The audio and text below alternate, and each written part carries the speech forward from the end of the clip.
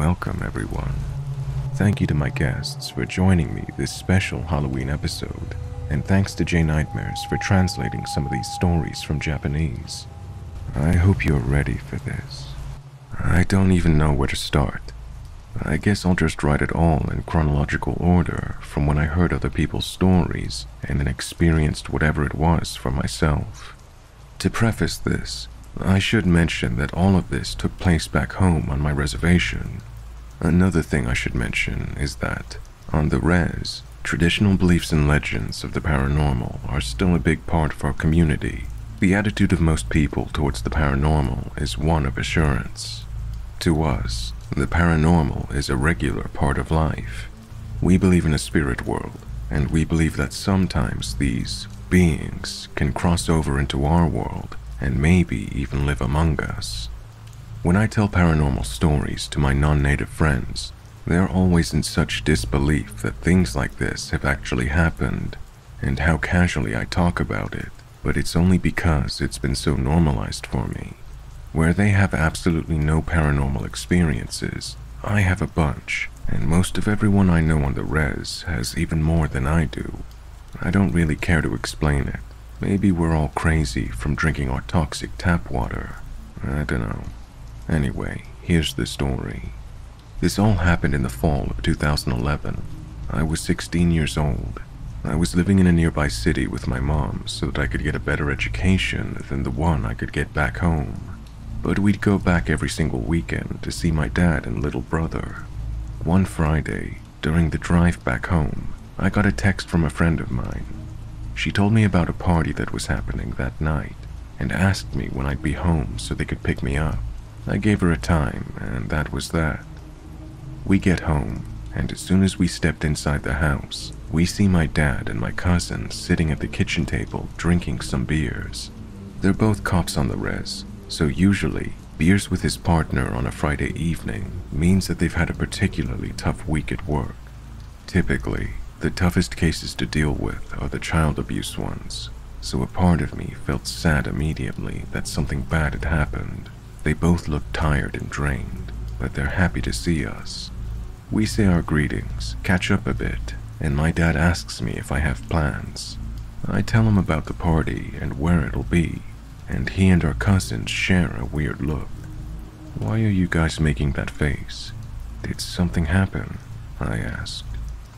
I don't know. Should we tell her? My cousin said, looking at my dad. He laughed, and they decided that I should probably know what's been going on, since I'd be going to a cottage pretty deep in the woods later that evening. They start with the first strange call they got on Monday night. An older woman called saying that people were outside of her house, knocking on all of her windows. She said she couldn't see anybody, but there must have been at least three people, judging by all the different locations of the knocking. They arrived at the woman's home, inspected all around the house, even checked the woods, but nothing came up. They tell her it's probably just some teenagers playing tricks on her, and that there isn't much else they can do besides patrol around the area in case they come back. On Wednesday night, the same woman called again with the same problem. It had rained that day, and there was mud all around this woman's home, so they figured that at the very least, they'd find footprints, but they couldn't find a thing. This is when they started feeling like something was off, because one of the windows where the woman was adamant about there being knocking was completely impossible to get to without stepping through this huge mud puddle. This is when they started to think that the woman was lying, but they just told her the same thing they told her a few nights prior. By Thursday night, everyone on the res had been talking about these strange experiences. And it turns out, this woman wasn't the only one experiencing the knocking. She was just the only one to call the police. I mean, all of this was taking place on a res, so it wasn't long before people were linking it to supernatural causes. My dad was still sure it was just a bunch of teenagers pranking people, but then they got another call from the same woman for the same reason. They rushed over and were met with the same situation, except this time, the neighbor walked over looking pale as a ghost. He says, Is this about the knocking? they notice he's a little shaky. Yeah, did you see something? They asked him. The man nodded and said, You guys are gonna think I'm crazy, but yeah. And he goes on to explain what he saw. He said that he stepped outside for a cigarette on his front porch when he heard knocking. He looked around to see where it was coming from, and when he looked at his neighbor's house, he saw it. There was a black figure standing outside the woman's window, looking into her home. He said that it looked humanoid in stature, but completely made out of a shadow.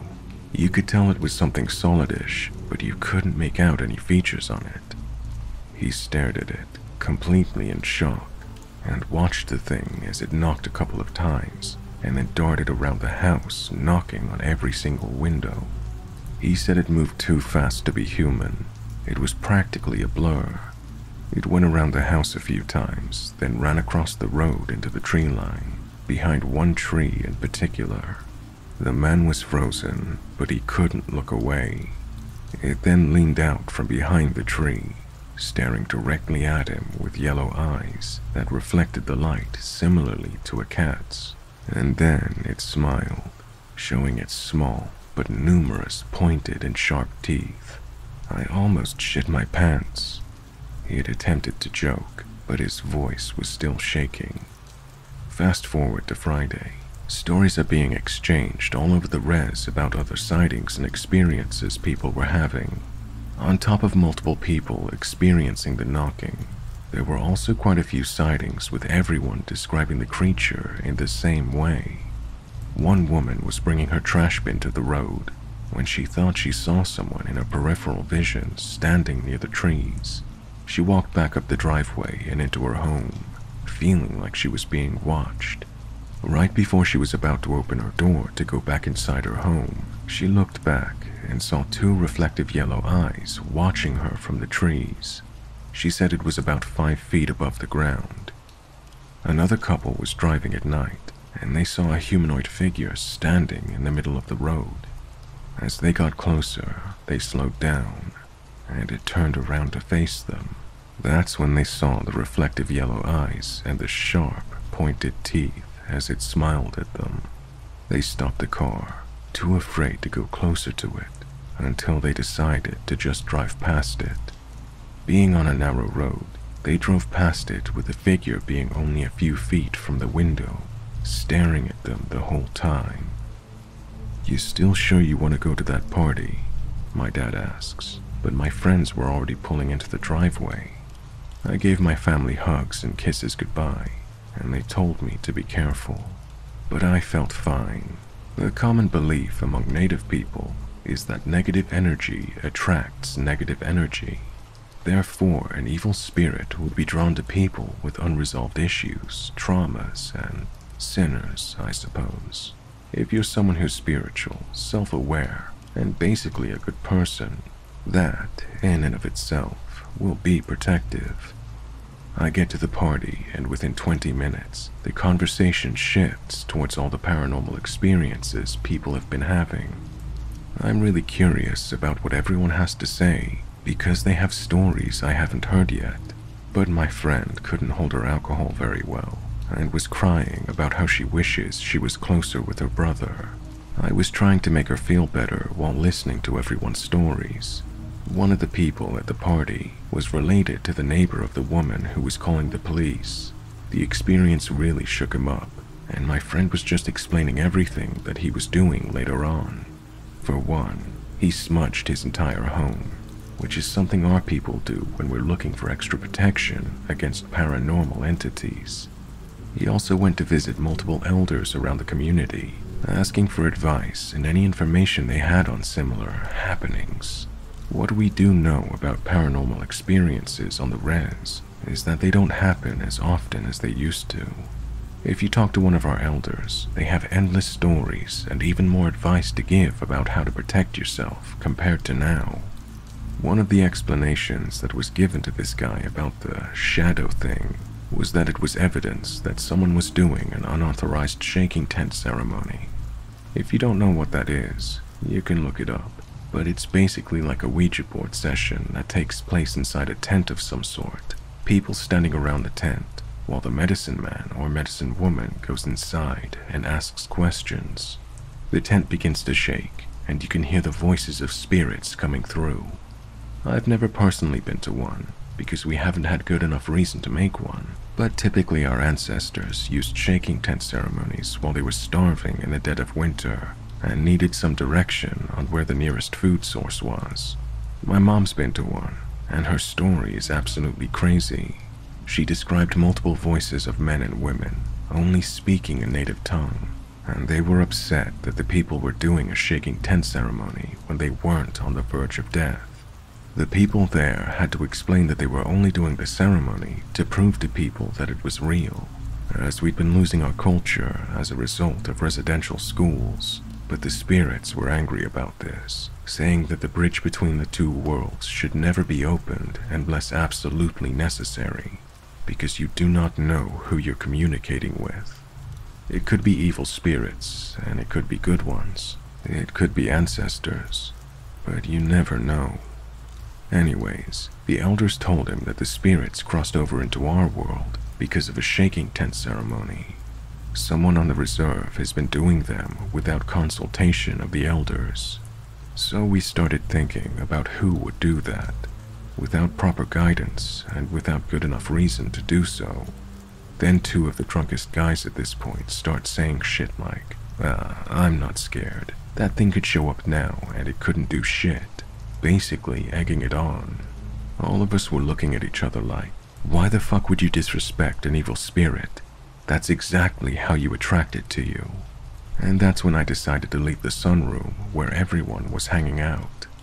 I went to the living room to console my drunk, crying friend when I noticed that the rocking chair outside on the porch was going back and forth. I looked away immediately, refusing to make direct eye contact but I did look at it from my peripheral vision. I'm inside the cottage, and I keep seeing this rocking chair going back and forth and back and forth. But another thing we're raised to do in our culture is to ignore paranormal experiences. Spirits feed on the energy that people put towards them. So if you freak out, if you get angry, if you yell at it or start crying, that's exactly what it wants. And it will stick around once it gets a reaction. It thrives on energy of any kind. So while I knew something fucked up was happening on the rocking chair, I wasn't about to pay it any attention. Five minutes or so goes by, and I'm still seeing it moving in the corner of my eye. That's when my friend screams, and she runs to the other side of the sunroom. My other friend sprints to where the girl was sitting and busts through the French doors onto the balcony. All of this happens in a split second, but I immediately go to the patio and ask what's going on. My friend is crying on the couch with friends all around her. She claims to have seen the spirit. She said she was listening to the boys talk about the spirit when she saw one of their faces as he was looking out onto the balcony behind her. She turned around to see what he was looking at, and directly on the other side of the window was the shadow spirit sitting on the rocking chair, smiling at her literally three feet from her. That's when the boys sprinted towards it and bust through the French doors. I walk outside to find the boy, and he's on the lawn, staring into the woods. I call his name, and he looks up at me. All he says is, Get everyone inside. And the tone of his voice just makes me automatically obey.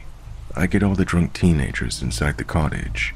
This is when the phrase, Come at me, bro, was just gaining popularity, so you can imagine the drunk kids yelling that into the woods. It was terrible. I eventually got everyone inside, and the girl isn't crying anymore, but she's visibly shaken from the experience. The boy comes back inside and tells everyone to clean up, and that we should leave as soon as possible. Everyone has trash bags and are clearing all the beer bottles and cans away. Everyone goes into the cottage, and it's only me and that boy in the sunroom now. I look at him for answers, and all he says is, It's outside. I nod and start cleaning faster. The sooner we're out of here, the sooner we're away from that thing. As we're cleaning in the sunroom, we hear knocking on the windows in multiple places. The entire sunroom is made of glass, but it's dark out, so you can't even see outside. I immediately looked at the boy, and he just says, ignore it. Within two seconds, someone comes running out of the bathroom and says, I'll kill whoever's outside knocking on the bathroom window. But everyone's inside and accounted for. Someone else comes running out of the bedroom saying that there was knocking on the window in there as well. Now everyone's freaking out, and me and the boy and one of our other friends are the only sober ones to calm everyone down. We get the place clean and get outside to the cars immediately. Everyone's getting into the trucks, and I'm standing there with the boy. He's relaxed, but then all of a sudden looks behind me and shoves me into his truck. We peel out of the driveway and drop everyone off. A few days later, I end up hanging out with the boy and he tells me the story from his perspective. He said that when the boy started talking shit about the spirit, it appeared on the rocking chair behind the girl. He said he made eye contact with it and couldn't look away. They were staring each other down, and that's when the girl saw his expression. He said it was instinct to defend the people he was with and ran towards it.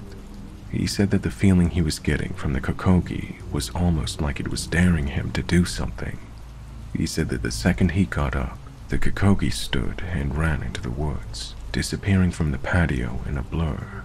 He ran off the porch and was looking around the lawn when he saw it standing at the tree line, looking right at him with a smile on its face. He said the whole time it felt like it was mocking him. It was then that I called his name and it disappeared.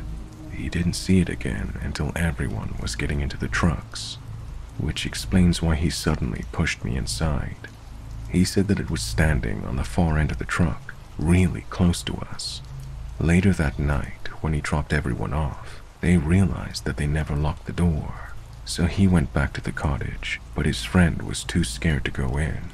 The boy goes in by himself, but the second he opens the door, he sees the thing standing in the living room. He locks the door as quick as he can, and they peel out of the driveway. So, yeah, sightings continued for a few days after that. We definitely weren't the only people on the res to have experiences like this. And then it stopped all of a sudden. It was the talk of the res. Everyone was curious about what happened to it. Would it come back? What was it, and what not? but word ended up getting around that there were sightings north of our community. White people in the town just north of us were having sightings. The other reservations were having sightings as well. It was like it was traveling north the way the stories were going. Anyway, it's 2018 now, and no one else on my reserve has had any sightings of this particular thing. But yeah, that's my story.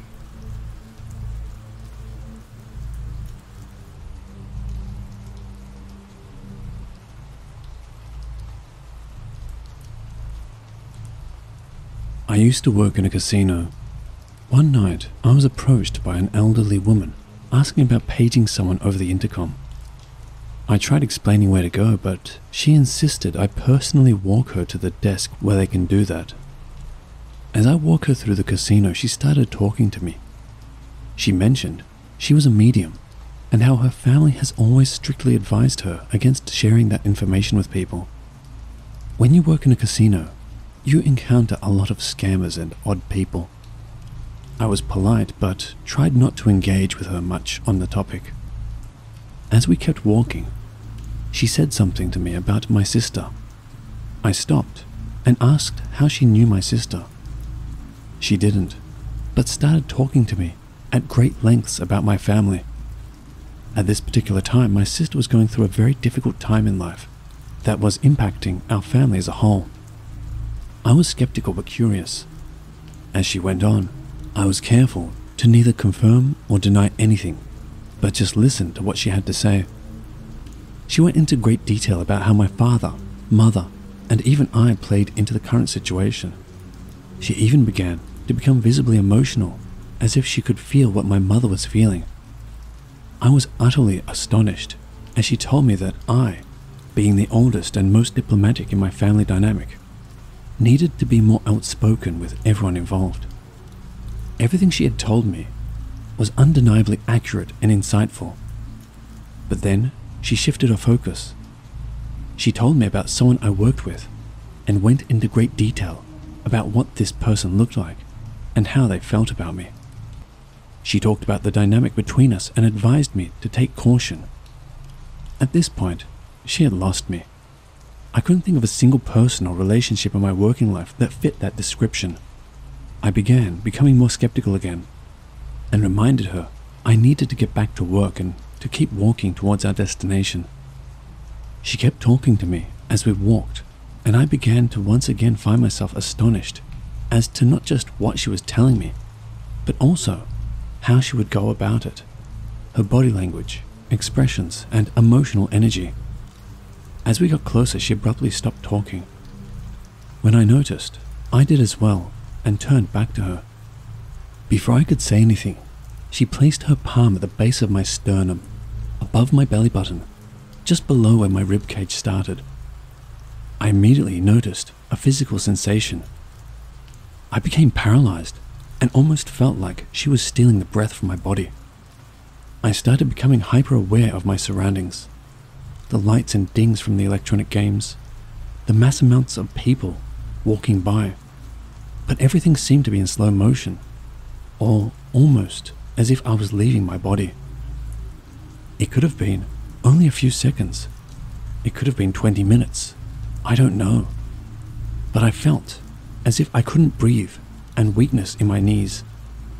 I started to feel like I was on the verge of passing out. Casino security saw this encounter and approached us. When security interrupted us to ask what was going on, it must have startled her because I felt this shockwave through my entire body. She jerked her hand back and started apologizing profusely to me. As soon as she pulled her hand back, I was able to breathe again and gain control back of my body. I was completely freaked out. It must have been visible because security kept asking me if I was okay. I assured them everything was fine and they walked off. I turned back to the woman, still apologizing, and she said, If you don't do something about that ulcer, it's going to kill you. I was so freaked out, I told her thanks, but I have to go back to work now, and quickly headed back to my office. Not only was I in a bizarre headspace, but I noticeably was completely void of physical energy. The entire experience was the most profound encounter of my life, and I will never forget those words and physical sensation. I was having a lot of stomach issues at the time, but I was far too scared to get medical verification of an ulcer. I had already previously suspected it, and was a potential side effect of the medication I was on at the time. But if that wasn't bizarre enough on its own, it gets even weirder. The encounter happened nearly 10 years ago, and it has sat with me ever since. But recently, I was reflecting back on it. I realized that second part about the coworker that initially made no sense, all of a sudden did.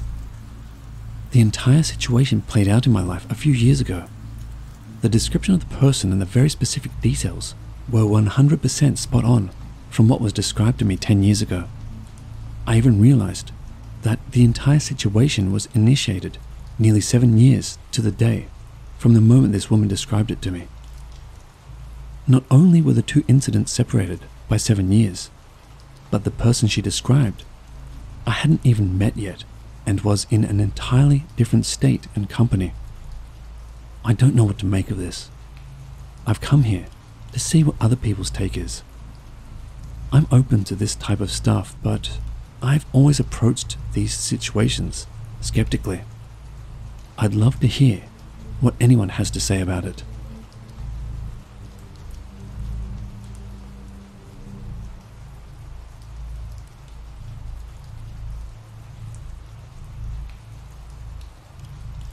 This happened when I was a university student. I wasn't a great student, to be honest. Well, not at first. I would often skip classes and just mess around with my friends. There was one girl at college who made me want to go in every now and then, though. I didn't have the guts to ask her on a date at the time this took place, so I had my friend and his girlfriend invite her out with us. It was fine because my friend and his girlfriend were mutual friends. someone suggested going on a drive at night. My friend and I were really into ghost hunting and stuff like that, so we would often try and find somewhere interesting to test our courage. We had heard a rumor of a place just on the outskirts of town which was supposed to be haunted. It was this abandoned building down a dark country lane out in the woods. It used to be a high end lodge that people could rent out as it had these great views over the lake. That's another reason we chose to go there. Could be kind of romantic at night, right? Also, we had the chance to show the girls we were brave by exploring the abandoned lodge.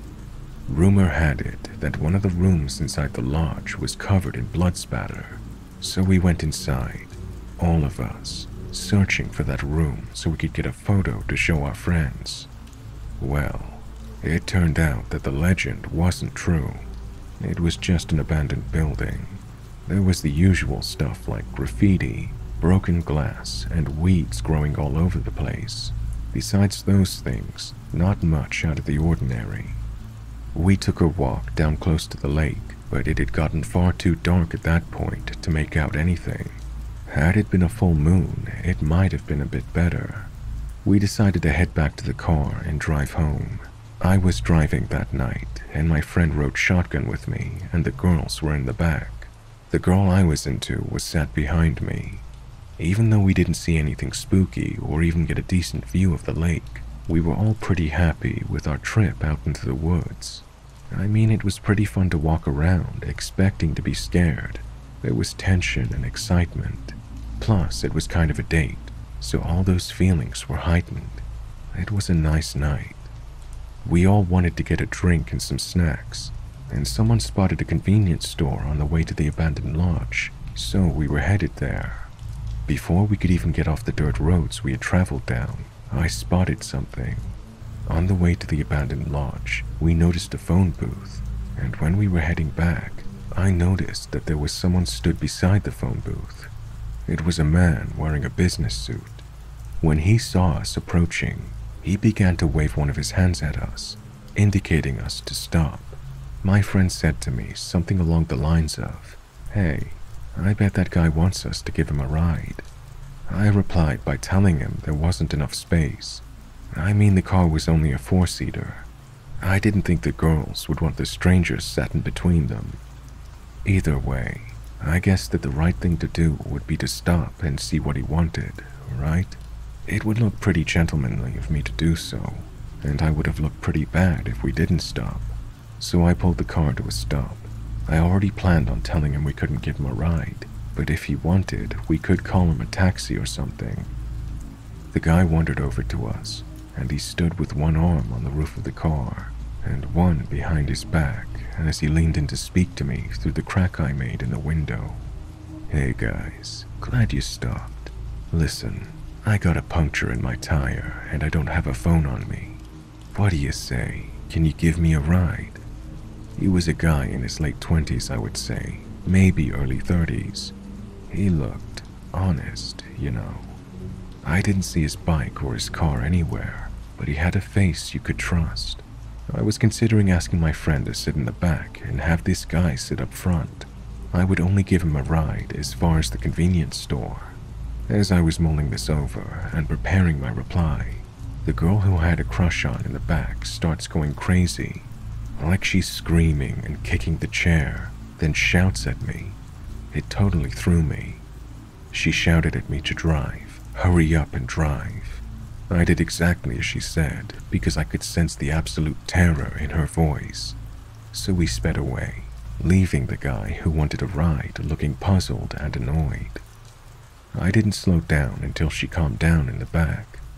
The car was full of the sounds of fear, hyperventilation, and confusion. We parked up at the convenience store. Everyone was a little calmer, so we asked what our friend saw. Didn't you see it? She said. The guy had a kitchen knife behind his back. No one goes into the woods with a knife like that. I don't know or want to know what that guy had planned for us with that knife. I don't even know why he was out there with a knife like that in the middle of the night. I do know that we had a close call that night. I was so close to letting that guy in, he would have convinced me. After that night, we stopped going to supposedly haunted places at night. We found out that humans can be way more frightening.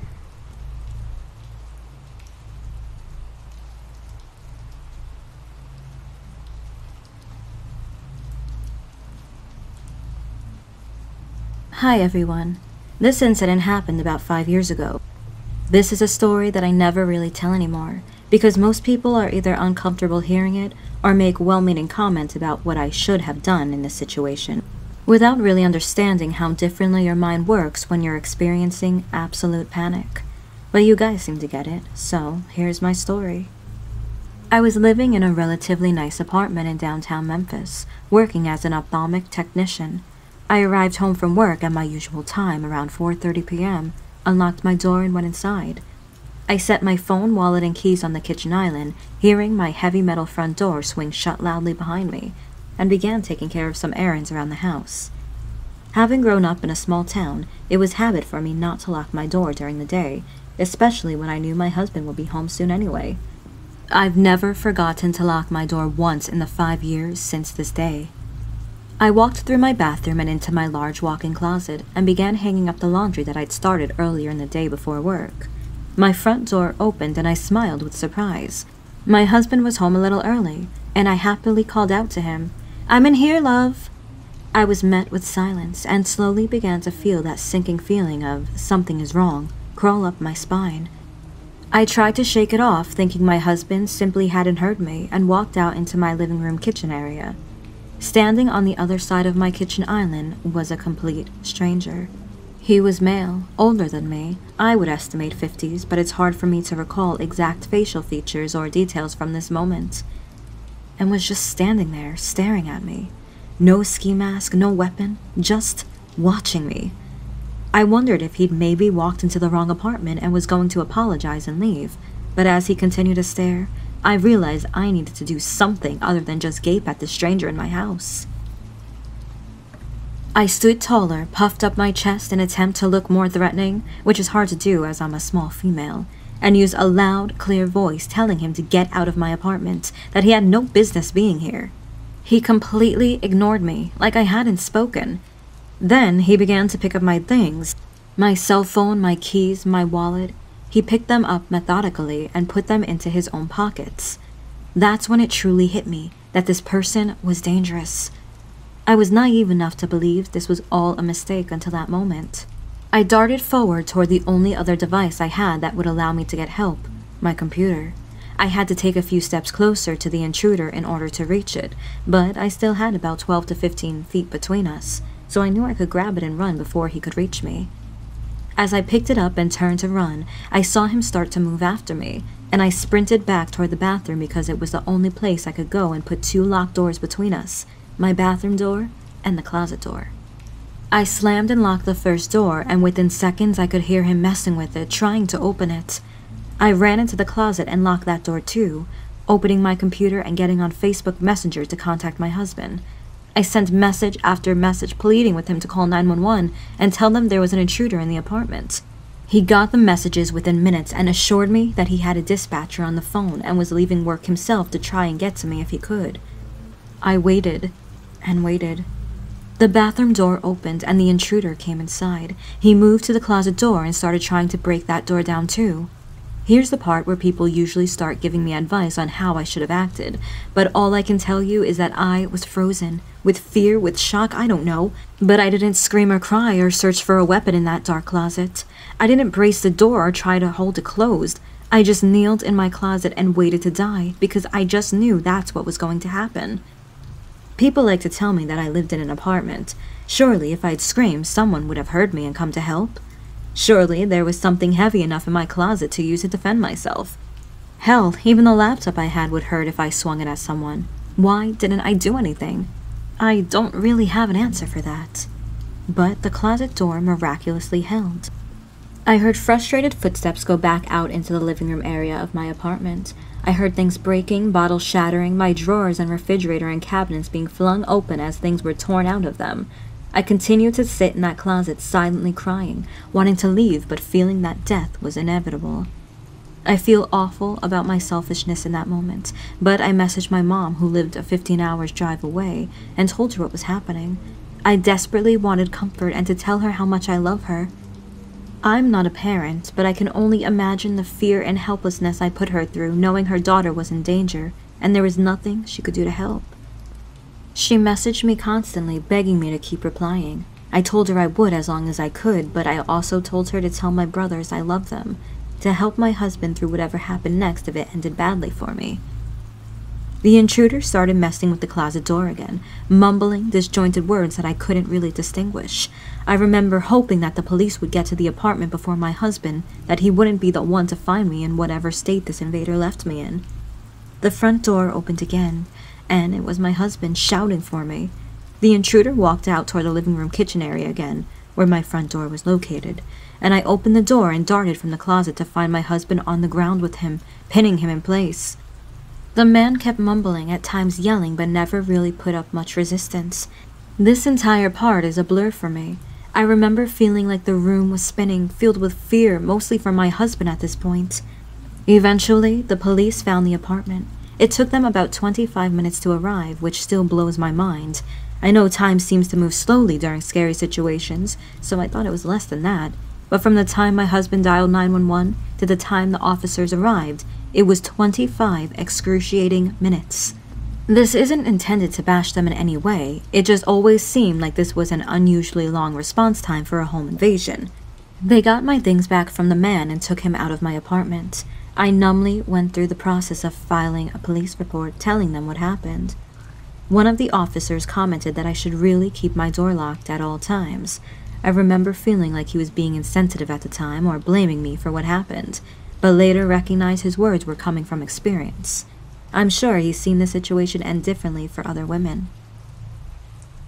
Within 30 minutes, the scariest incident of my life was over, but I've carried the fear, the violation, the anxiety of having someone intrude into my space for years. If it happened to me once, it could happen again. If you made it this far, thanks for listening. Please consider continuing because this isn't all doom and gloom. If this or something similar has happened to you and you're still struggling with the aftermath of it, the sleepless nights, the laying awake listening for sounds of forced entry, the nightmares, the constant checking and rechecking your locks, this is what eventually helped me. A year after this took place, my husband and I moved to the Midwest for his job. We selected a safe town with a nice apartment complex and chose a third floor apartment with only one point of entry.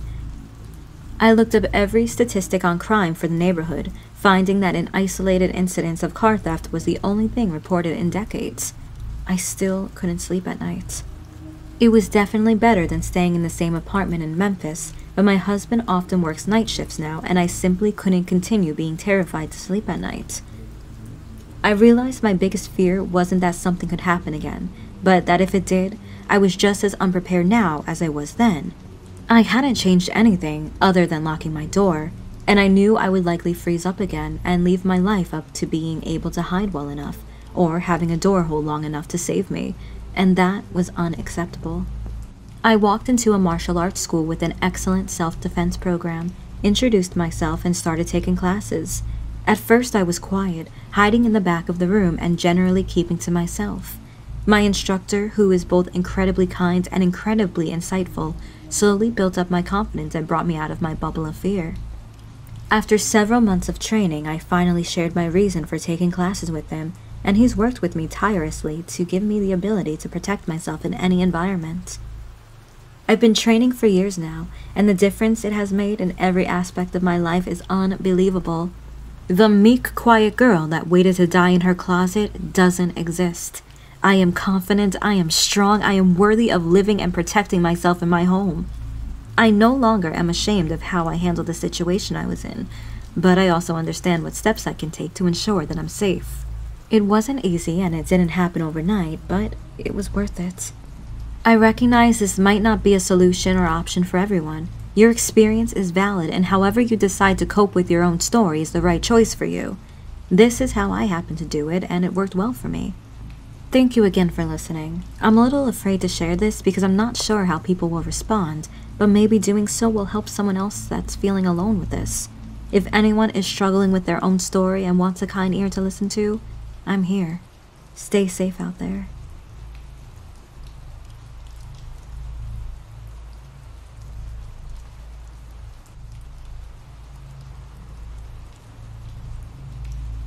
This happened when I was 14.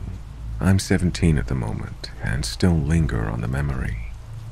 I was home alone that night as my mom was working an overnight shift and my older brother didn't live at home at the time, so therefore I had the house to myself. I'd say it was maybe 9 or 9:30 p.m. and I was in my room working on homework and listening to music with my headphones in, loud enough to where I really couldn't hear things. I remember for a fact that all of the doors were locked, and I stayed home alone pretty often, so I didn't have a reason to worry. Maybe an hour later, I decided to take my headphones out and take a break from homework. I heard noises in my kitchen and footsteps walking around downstairs, which was odd because my mom wasn't supposed to be home until 7 a.m. the next morning, but she could have taken an early night for whatever reason. But just to make sure, I locked my bedroom door and texted her asking if she came home. It took her around 10 minutes to respond, but when she did, she said no. She was still at work, and why, I asked. At that point, I was freaking out because my mom and my brother are the only ones with keys to the house, and myself, of course. So I decided to text my brother. Sure enough, he said no. He wasn't in the house.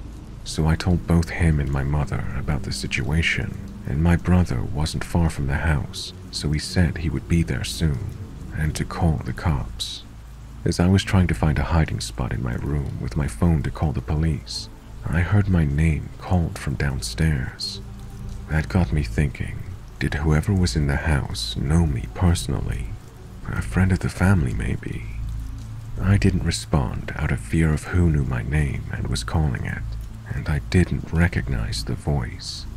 I called the cops and was on the phone with them, and when my name was called again, followed by, I know you're up there, and I heard someone start to walk up the stairs. Again, I didn't respond, but I was terrified. The police assured me that they were on their way and to stay put. I was still texting my brother while this was all happening. He informed me that he was five minutes away. That's when I heard the front door slam. After I heard the door slam, about five minutes later, the police arrived and assured me it was them and that I could come out. Shortly after, my brother arrived back home. The police looked around the property and all over the house, but there was no trace of whomever was once here. However, there was damage on the door and lock from being forced open, and it looked to be done by some sort of tool to pick the lock. Everything turned out okay because nothing was taken, oddly enough. But the upsetting part is whomever was in my house wasn't found. From that night forward, though, we got cameras installed and got a better lock.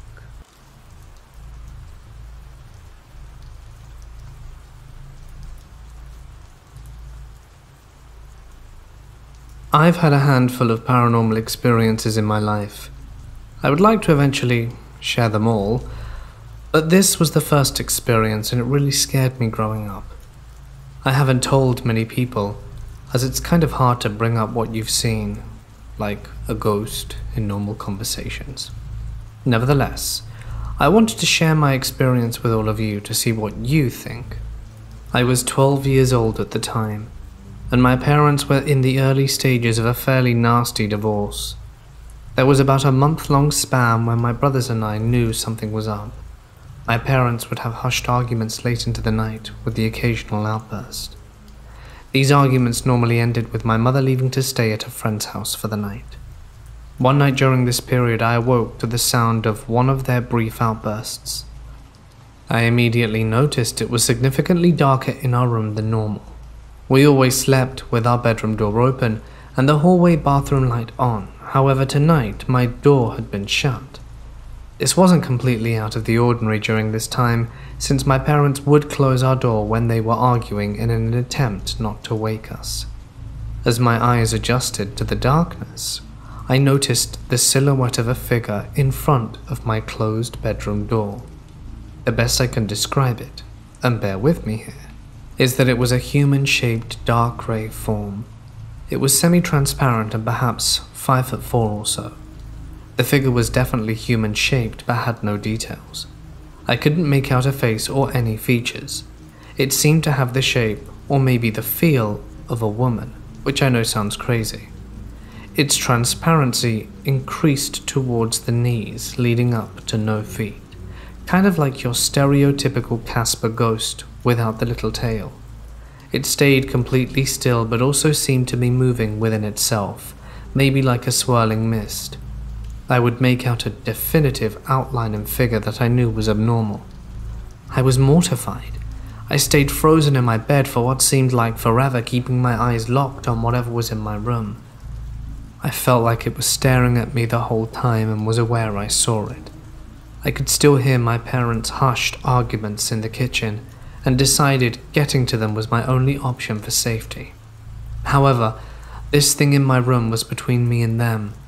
Honestly, I do not know what the hell I was thinking, but I made a run for it. To this day, I can still vividly remember running as fast as I could, straight at the figure, bracing for impact with it, watching it vanish as I went through it, and slamming straight into my bedroom door, which is a little humorous looking back on it. But I remained composure, opened my bedroom door, and sprinted to the kitchen. By the time I reached the kitchen, my mum had just left, and my dad was shutting the garage door. I really can't remember what I told him, but I know I didn't tell him what had just happened. I'm pretty sure I just said I had a nightmare and wanted to sleep in his bed with him that night.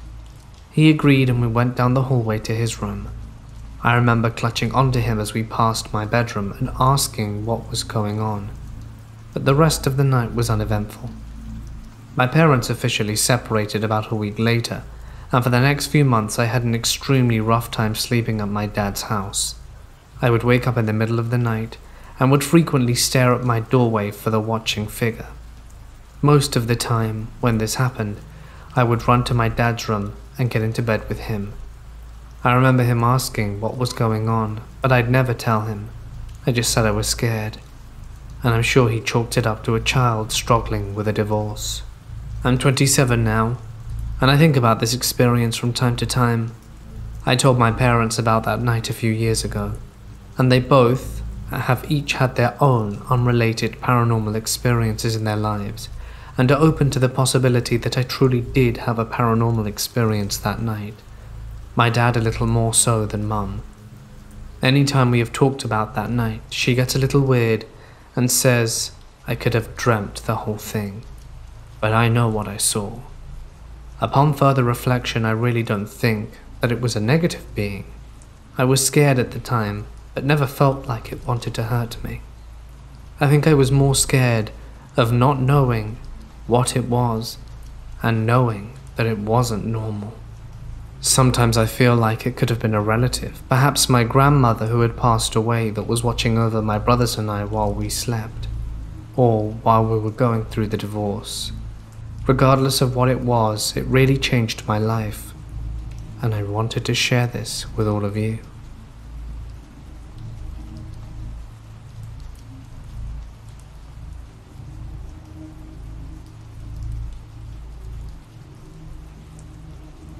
This didn't happen to me, but it happened to someone who works at my company.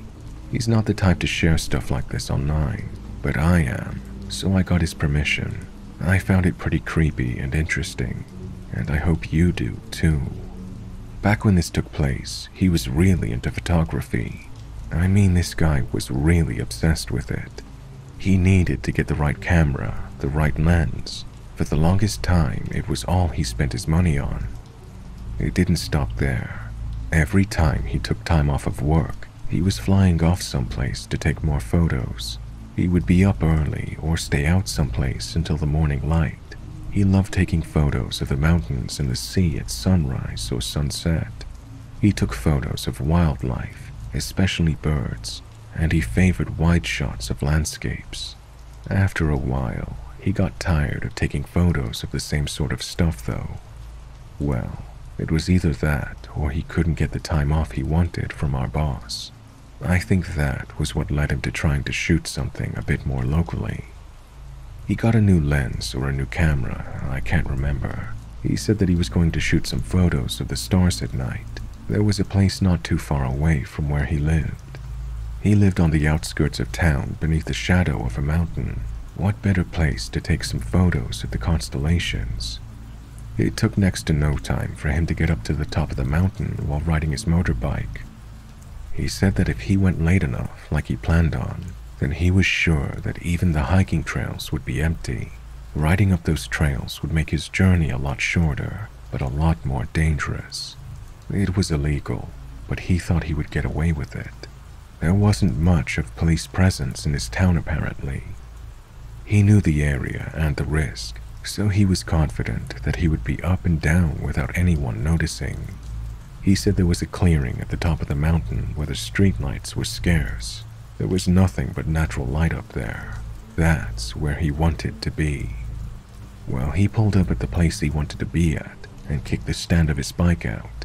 He put it out of sight under a tree, just in case. He took a bunch of photos, tried them from all sorts of angles, he said he was completely immersed in taking his photos since there was a full moon out, and there was a cloudless sky that served as his canvas. His concentration was disrupted when he heard the sound of a vehicle pulling into the observation area parking lot. He had driven up the trail and not up the road, therefore he had a kind of aerial advantage over the car that had just pulled into the parking area. At that time of night, he thought it might just be some kids looking for a quiet place to either drink or fool around in, or both. If that wasn't the case, it wouldn't be great if they found a guy on his own, lurking in the bushes with a bunch of camera equipment. Since he didn't know who was going to emerge from the vehicle, he hid in the bushes by the tree where his bike was. Someone pulled in. It stopped in the opposite area of the parking lot. He looked on expecting a bunch of youngsters to pour out, but only one figure came out of the driver's side door. He wasn't young. He was about the same age as my colleague, if not older. He got out of what my friend now saw was a van, and he started going back and forth with something in his hands. It looked as if he was unloading something. He had two armfuls of something, and he headed off into the woods with whatever that was. Then he came back to get more of it from his van. Well, my colleague retracted into the bushes once again after he saw that. He said that he didn't want to be found by that guy. He admitted that he hid in the bushes until the guy in the van completed doing whatever he was doing. That back and forth trip from the van to the woods. Once he heard the van pull away, he came out from under the cover of darkness and left on his motorbike. I was told this story in front of some others. It was on a night out. Some of our senior colleagues were all like, Wait, what? That's it. It was probably some guy fly tipping, dumping his garbage out in the middle of nowhere. Someone else said, Yeah, why didn't you call him out on that? Then someone asked, What did it look like he was ditching out there anyway? It couldn't have been anything important. Well, I figured that this guy didn't tell us the story for nothing, so I eagerly awaited his response, and he took a deep breath and said, It wasn't garbage. Whatever it was was wrapped in cloth or some kind of clothing, and he hugged it to his chest. He hugged it tight and he spoke to it. He spoke to it while he walked off into the woods. The mountains at night can hide many things, I guess, he reported what he saw, but he didn't speak another word about what happened that night again.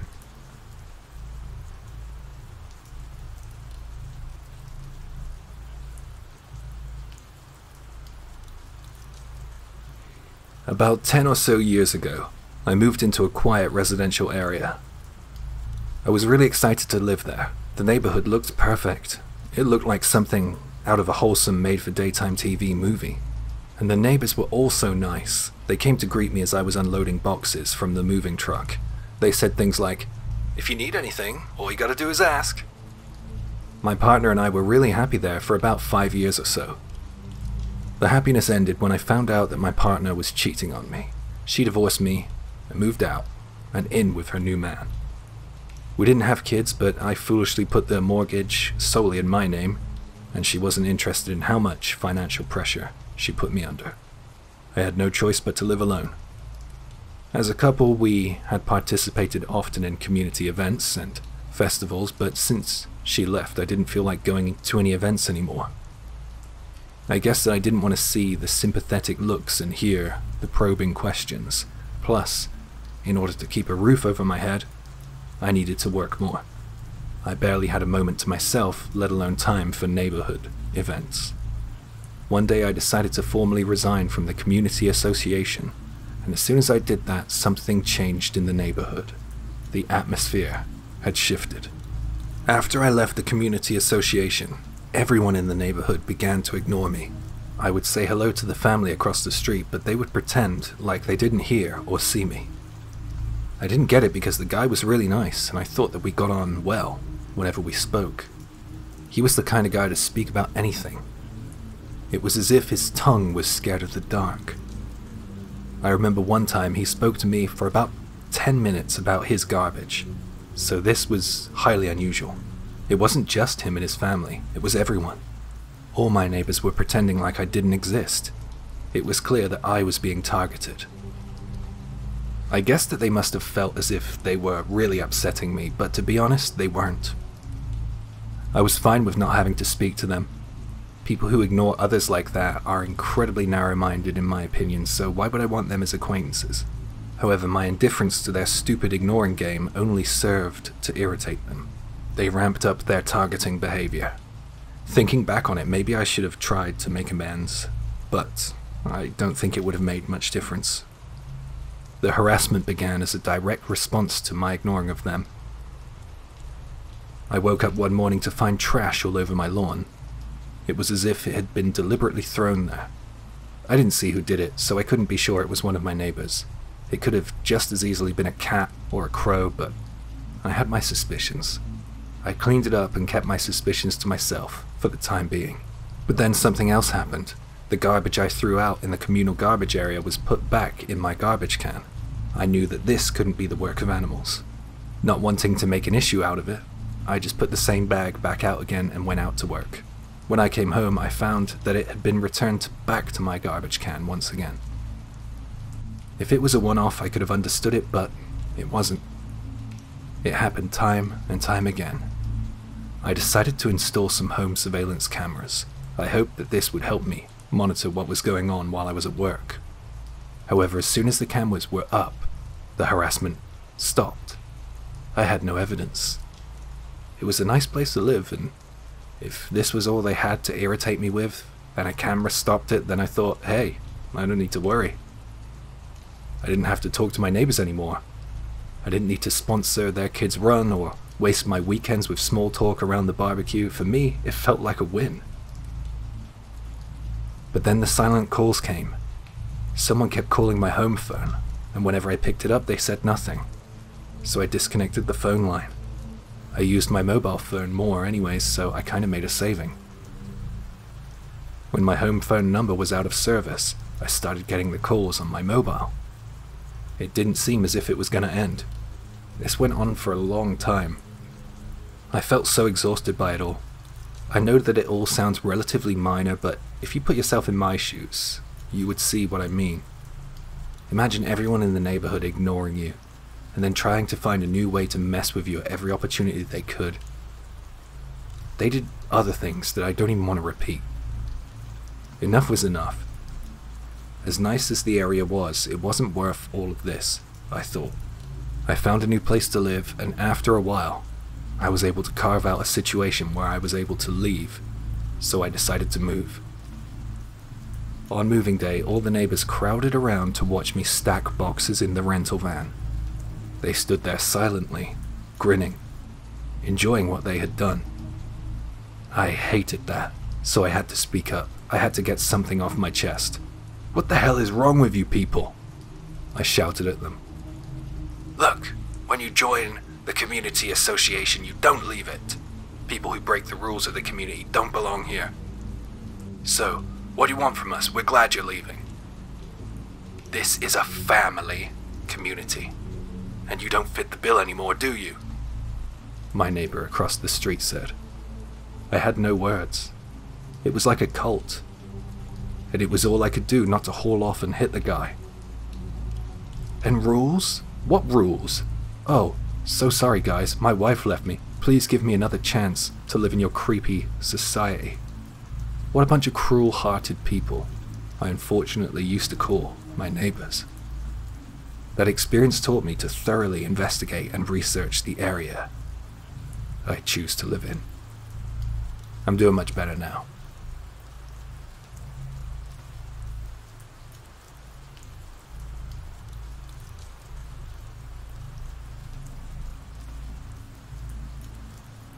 I've never been a big fan of camping. Circa 2012, for some reason or another, my friend and I decided to take a Saturday night to camp on private property on the bank of a small lake in the rural American Southwest. The lake wasn't very large, probably only about 50 to 150 yards across. It was more of a deep pond, but it was five times as long as it was wide, and from the perspective of our camp, it consumed the majority of our sightline. The plot of land itself wasn't entirely removed from civilization. We were five to ten miles outside of a small suburb of a mid sized southern city. It definitely was not easy to access, however, and the only way in was a gated, narrow dirt road across a levee which spanned one side of the lake. This road was gated and locked. The owner gave us his code. We pulled the car through and locked the gate behind us. If you've ever been down south, you know how quickly it gets isolated outside of cities. Our cities are small, and the rural people around often live rough and wild. We have dense woods, so thick that they're not worth building in unless you have some connection or attachment to the area. I've heard it was not profitable to cut roads through a lot of it when they were building highways in the 50s, so not much development has happened in the last hundred years, and in some places since the Civil War. It's not uncommon to go for a 30 minute drive straight out of town and come upon cabins that are obviously off the grid. My friend and I were used to living in the suburbs, so we were just happy to see the stars and to hear the sounds of nature. We were at our very utilitarian camp, simply looking around and enjoying the night, when suddenly my buddy sat up real straight. He said something like, Do you see that guy over there? He pointed to the other side of the small lake. I didn't see anything. I sat up slightly and said, Nah, it's just the dark playing tricks on you. He seemed actually shaken. No, look, there's a bunch of faces behind the trees now. That got my attention, and I sat up fully, rubbing my eyes to try to gain focus. And then I saw them. Small, round, white faces stared back at me from across the lake. Maybe 15 to 20 of them. All were positioned in such a way that their bodies were behind the trees, and only their heads were visible. The best way I can describe the faces is like very pale, somehow internally illuminated children. I should mention that neither of us were drinking or high. We were too young for that, not for at least a few more years. We'd eaten dinner at home and were just planning on going to sleep after chilling out for a while. The faces weren't moving. I was kind of sitting there in shock, thinking that my eyes would adjust and I would see that they were a reflection, bugs or owls or something. But I would never come to that realization. I stared right back at them for what felt like five minutes, looked back at my friend, and then they were gone. Bodies of water carry sound extremely well, and we heard extensive shuffling from the other side of the lake and a couple of small branches snap. It's incredible what your ears pick up on during an otherwise silent night. My buddy was tearing up a little when he said, What the hell were those? And I didn't have a good answer. Neither of us slept particularly well, and I definitely felt validated in my feelings of disliking camping but what were we going to do? I tried to do some research on the internet, but never found a phenomenon that could explain that.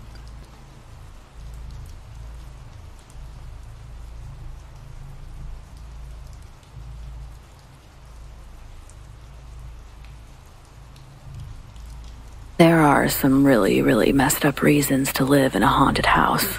I, being of sound mind and body, don't know any of them, but I am superstitious as all hell. So, when the wife and I moved up to New Hampshire, right on the Vermont border, we were looking for a place to rent for a year or two before buying a house. Now, for all the New Englanders here, my wife is a native. I'm not. She's used to New England and the vast emptiness this small area has. There are places even she won't let me travel to after a certain hour, because that route you have to take, people don't come back from. Of course, I'm not a native, so I don't know this.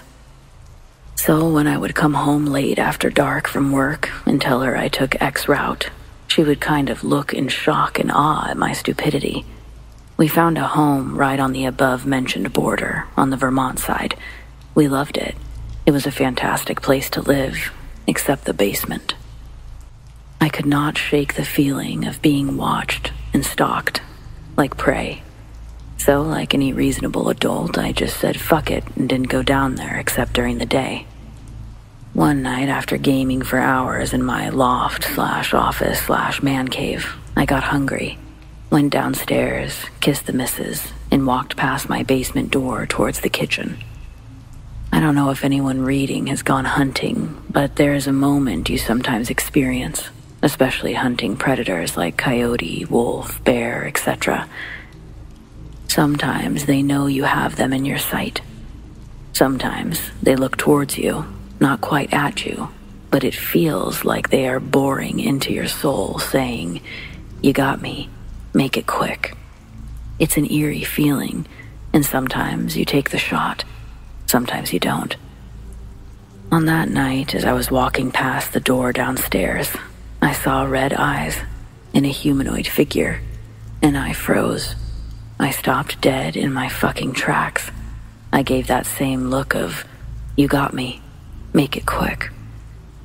After that momentary lapse of sanity, I just scooted real quickly away from the door, grabbed a weapon, and called my wife, saying someone was downstairs, call the police.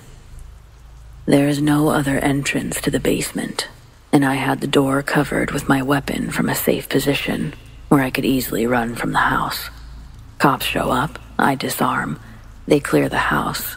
They find no person, but a set of muddy footprints that start facing up towards the stairs, that then proceed to walk into a wall in the back corner of the basement by the water heater. For some context, the wall in question also blocked off the area directly under my bedroom. It was a solid wall with a small crawl space and about maybe four inches of clearance on the other side of it. Cops call detectives. Detectives check it. Can't see anyone in it. They can't enter it. Photographs are taken, shoe sizes compared. My feet are too big, wife's are too small. We got a good contact number for the detective, and the wife and I would stay at a hotel for a couple of nights. For months afterwards, I would have the same thing happen, eventually, minus the cops. It actually got relatively normal. Good old red eyes in the basement, chillin' like a villain. Wife was less enthused by my antics, cheerfully just going about, and when I would spot red eyes, I'd always give him a cheery, good, insert time of the day, how you doing? Of which we would still have muddy footprints, and I would just clean them up. So, COVID hits, lockdowns happen, and we have an opportunity to move to a better house, one where we would be able to work from home better. The main reason the home was better was we had a mold issue in this house. It was in between the panes of glass in the windows. Every day we were cleaning it up from the windowsills, door frames. Hell, we had to replace pieces of furniture multiple times, and we are very clean people. We notified the landlord over multiple months and eventually a year. And after their inactions, they're not helping at all. We decided to move. Landlord decided to get a housing inspector out there immediately after we left. Inspector comes and verifies there is a mold issue. I don't know if they met red eyes. However, They did find a metric ton of readings of high spore counts on the walls bordering the space below our old bedroom, the wall where the footprints always ended. So, since it was filled, the inspector scoops a little bit of the earth on the other side of the wall, through the crawl space. It wasn't earth as in dirt. It was approximately seven feet of mold. The landlord then immediately contacted specialists to remove all of it and notified me to offer some kind of damages for it. This was in the form of refunded partial rent payments. All in all, made my 2020 pretty good. Until about three months later. Landlord calls me and offers to send me a full refund of all rent from the time I was living there, minus what she already gave. Why? There was a corpse. The medical examiner said that it was the man who owned the property before my landlord. He was a lineman who, after talking to surviving family members, wore a size 8 shoe, smaller than my size 11, bigger than my wife's shoes by a mile. Fuck me, Red Eyes. I don't know how you got there, but hell, bud, I hope you now found peace. Sorry for not checking it out sooner. I did, after reading about his obituary and contacting his family, swing by his final resting place to drop off flowers, place a stone, and share a good morning like I used to. Till better times, Red Eyes.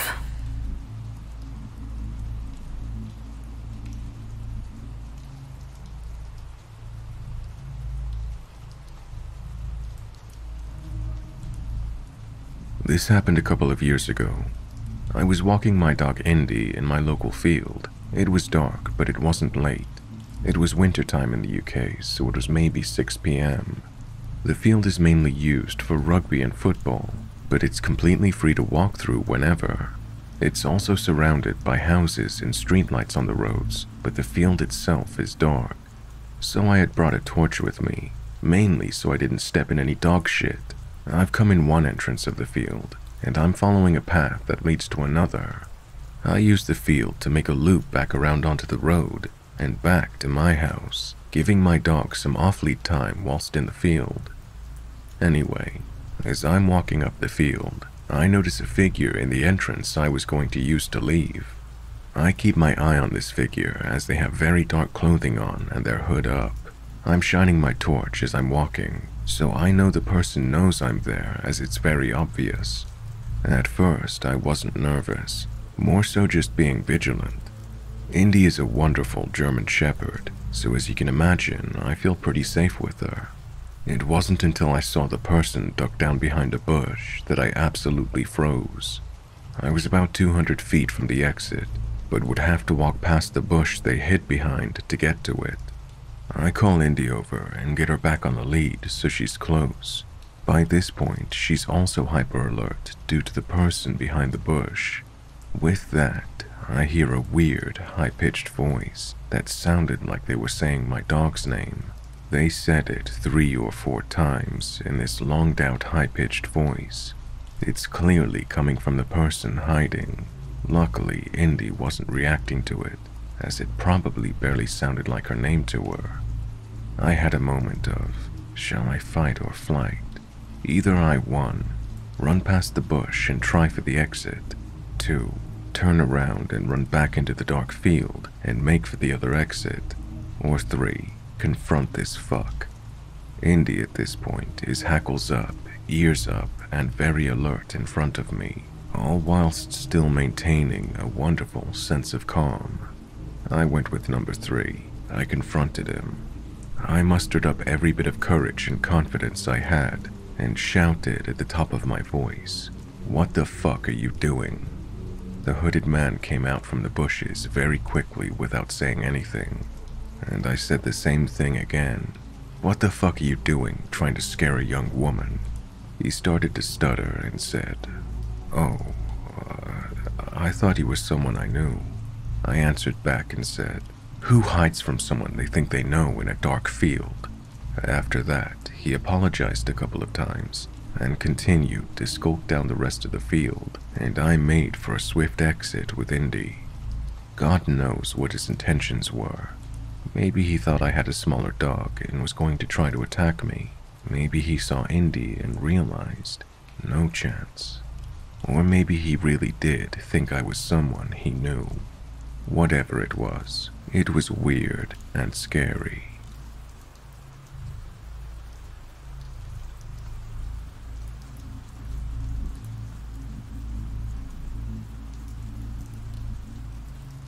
I'll try to give as much detail as possible and keep this from going on for too long.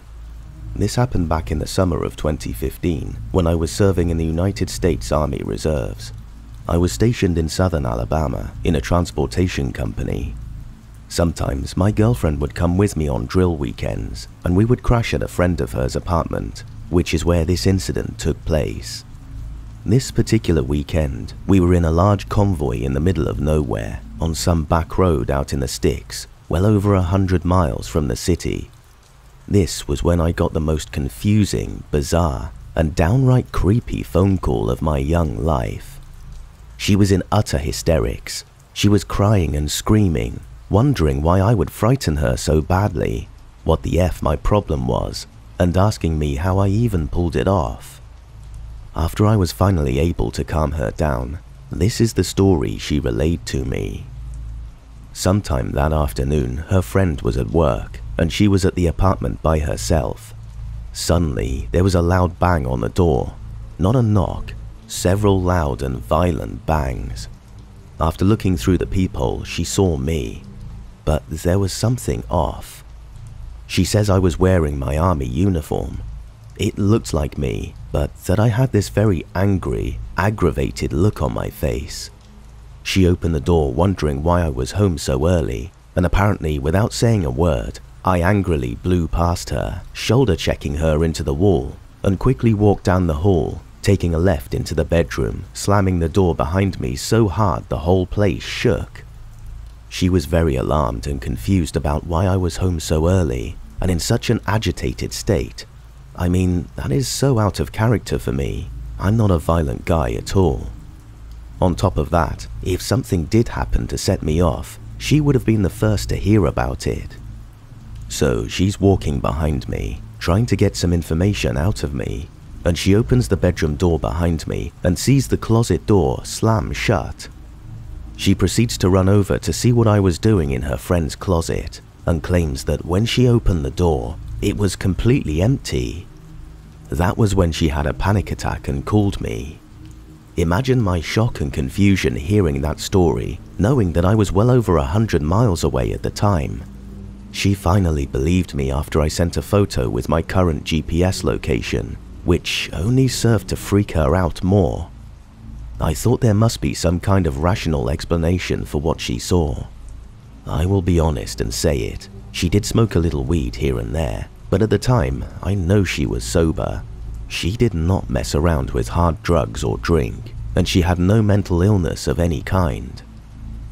Over the years after that happened, I came to learn about doppelgangers. I don't know what they mean, what they represent, or why they come around. All I know is that they are creepy as hell, and a girl I dated for several years came face to face with mine, and it put the fear of God into the poor girl. Take from this story what you will, but honestly, I don't care if anyone believes it or not. I just have to get it off my chest. She and I are no longer together. Not that that's relevant, but we are still good friends, and I called her this morning to talk about, quote, the scariest moment of her life, as she puts it. According to her, it looked exactly like me, same eye and hair color, same height and everything. The only difference between my doppelganger and me was temperament. I'm a very easygoing dude, and she and I didn't fight or argue much. I mean, she's seen me angry before, obviously, and even when I was angry with her, we had good communication. I've never been that kind of guy who gets mad and doesn't speak to someone, especially a significant other, because frankly, that's assholish and immature. According to her, this thing wanted in, and from the way it was pounding on the door, harder and harder, it eventually would have come in one way or another. Then, for whatever reason, it practically ran over her trying to get down the hall. So this dude was in a hurry, and he was pissed the hell off. I'm not a small guy, and she claims this put a nasty bruise on her shoulder as she hit the wall. This is also very out of character for me, as I never have laid a hand on any woman in my life.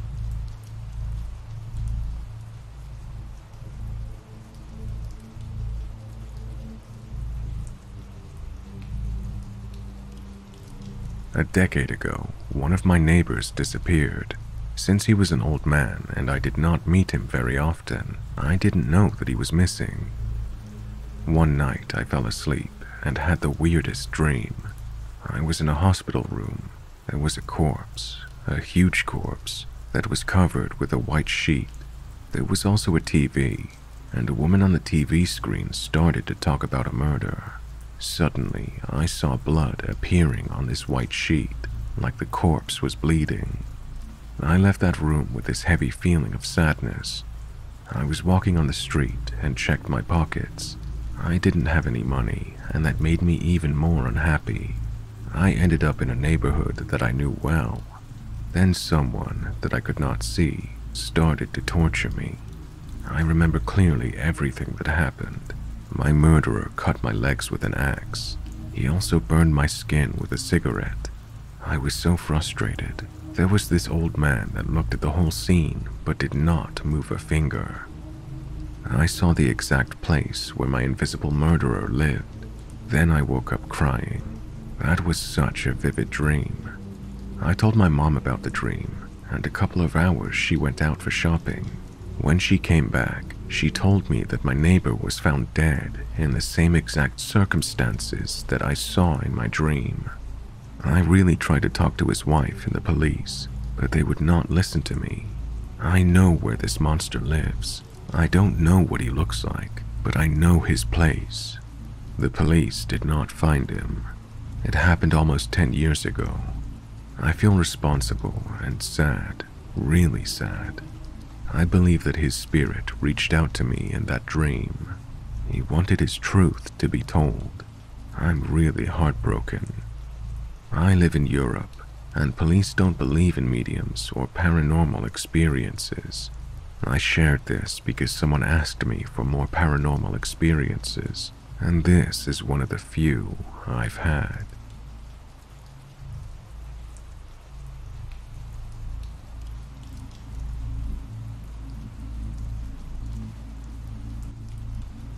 I was once working as a receptionist at a five star resort that's about 45 minutes away from the city center. Everyone who has worked in tourism or hospitality knows that there are certain periods during the year where it's busier than usual. For example, peak season. And this incident happened during peak season. The resort was overbooked, and guests were checking into their rooms one after another at the reception counter. I was almost done checking in this nice, lovely couple when I saw this family of five standing behind them and tried to finish up the whole check in process so that I could assist the family that was next in line. You must be thinking that when I said family of five, it's the parents and three kids, right? But it's actually two kids one elderly woman who, at that time, I assume was either the husband or the wife's mother. Now, the resort's policy was to get the details of every guest that were staying in the resort, and it is for a good reason safety. It's the same reason that all airlines are doing when they obtain their passengers' info. So, I told the husband that we needed everyone's details, and he just said, Sure, no problem. And of course, I was expecting five names on the registration form. By the time that I realized that there were only four names, the family were already at the concierge area to pick up their luggage and then left to go to their rooms. I couldn't go after them as I was assisting another guest. Like I said, it was peak season. So all I could do was just watch them from afar, walking towards the elevators, and then disappeared from sight. The whole time they were walking, the old woman just followed them from behind quietly but I didn't give much thought to it, and I just went right back to assisting the guest that was in front of me. After the buzz had died down at around 4 p.m., I decided to ring the family's room just to inform them that there were missing details. The husband came down to the reception alone, and I told him that I needed the information of his or his wife's mother's info. This man just stood there. He stared at me for what felt like a minute and said, But it's only my wife and I and our two kids. Me, being confused, obviously said, But sir, I saw that there were five of you. At this point, I thought he was lying to avoid paying for a third person charge for one of the rooms. They got two rooms, and one room is only enough amenities for two persons. Same goes for the buffet breakfast that's included. He took another minute and asked me what did this elderly woman look like. To which I explained that she had gray hair and it was short, like a bob haircut. I also told him that she was wearing this red cheongsam shirt, and right as I told him that, he quickly took his phone out, frantically scrolled for a few seconds, and then showed me a picture of this same woman in the same clothes lying in a closed coffin that had a clear glass cover so you could still look inside. I just nodded slightly, and he said that it's his mother.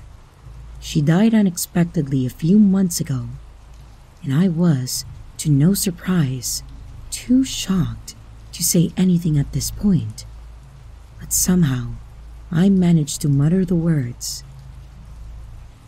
I'm I'm so sorry for your loss, sir, and I am so sorry about this. He just said that it was okay, gave me a small smile, and then left without saying anything. When they checked out two days later, we just pretended like the whole thing never happened. Luckily enough, the elderly woman was not there. And I still get goosebumps just thinking about it till this day.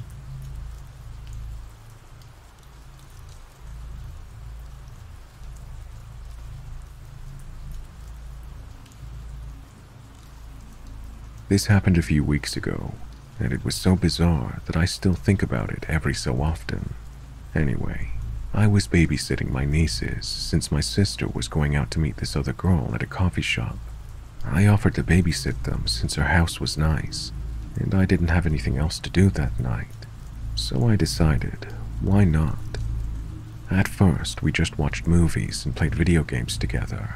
Later on into the night, I noticed they didn't eat anything, and so I asked them if they were hungry.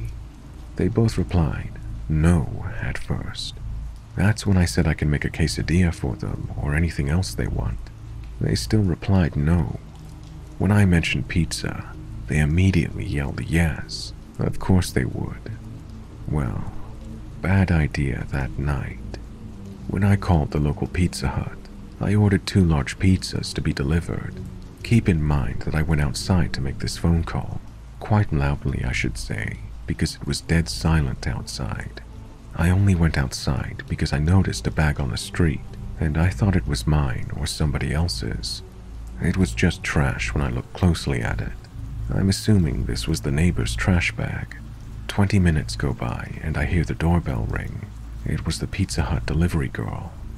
I paid her in cash, and I took the pizzas to the kitchen where my nieces were eating at. This is when the weird stuff happens. Not even 10 minutes go by, and I hear the doorbell ring again. I was skeptical at first and looked out the window. It was hard to see much of anything by this point. I opened the door only to be greeted by an old man with a pizza box in his hand. He says to me, Hello, son. I got your pizzas that you ordered. I tried to answer in a way that would divert the situation. Oh, I'm sorry. I didn't order any pizza. You must have gotten the wrong location. That's when I tried to close the door, but he pushed his hand hard on it and said, Are you sure? I firmly replied back, Yes, and I closed the door. I thought that was the end of that until one of my nieces told me Why is there a man just standing outside our house? I was confused, but my heart started to pound when I thought it was the same old man from earlier. I was right. It was the same old man still standing outside the house with the pizza box still in his hand. I was absolutely livid. I furiously opened the door and yelled at him that I would call the cops immediately. He ran off. My sister arrived two hours later and I told her what happened. She looked immediately concerned and then asked who it was. I told her it was an old man who impersonated a pizza delivery worker. I don't know what she did after I told her. I'm not sure if she called the cops to file a report or not.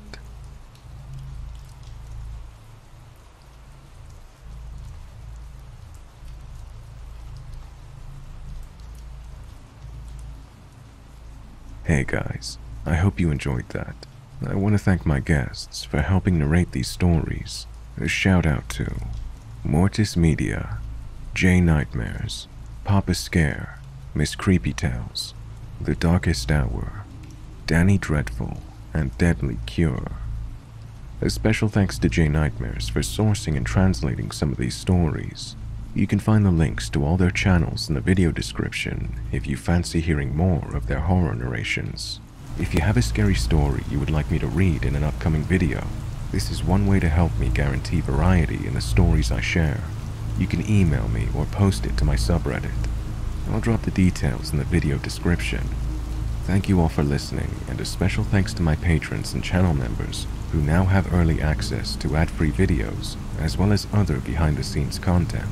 Thank you to Jane Wiggins, Tara Harris, Mary Wright, Kelly Townsend, M, Deshaun Edmondson, Kimmy Love, Wendy Maris, Confessions of a Cleaner, Megan Abrams, Miss Tycoon, Stephen Sloan, Christina Myway, Ashley Bray, Madisa Felter, Danielle, Tina Marie Heckman, Amal Garner, Lisa Radford, Deborah Malays, Connie Sue, Taya Adwell, Diana Johnston, Vampy Debs, Jasmine Davis, Erica Asir, Fox Mulder, Ram Beltran, Tina, Nick Bigdowski, Sarah C.H., Neil Kavanaugh, Tiara Sanders, Timothy Stratton, Jennifer Jenkins, Lloyd Rash, Maribel DeLuna, Michael O'Malley,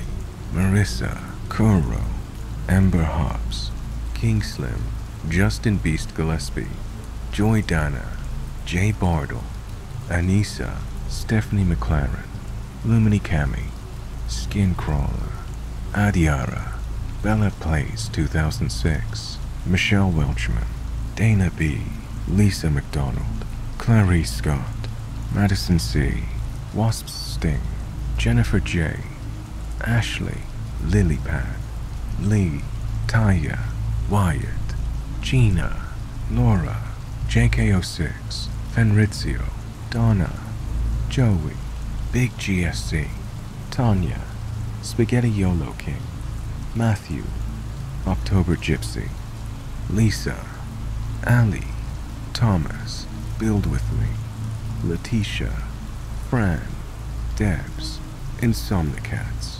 Stephanie, Summer, Rebecca, Tyara, This Bad Kitty, Your Pappy's Dilly, Laney, Tripping Balls Through History, Samantha, Erica, Alyssa, Tracy, Killian's Place, April, James Arterberg, Jen, Joy, Handout, Pegasus Genesis, Karen Keating, V. Berry, LJ, Fiona X Fox, Scott, I Like Booty, Monica Level Ace, Chris and Donna, Holly Spry, Kimber, Jasmine, Sanatix, Heather Haven, Kitty Cat Luna 2, ADHD Aurora, Janice, Cinderella Baby, Borderline Betty, Lady Draco, Erica Nicole,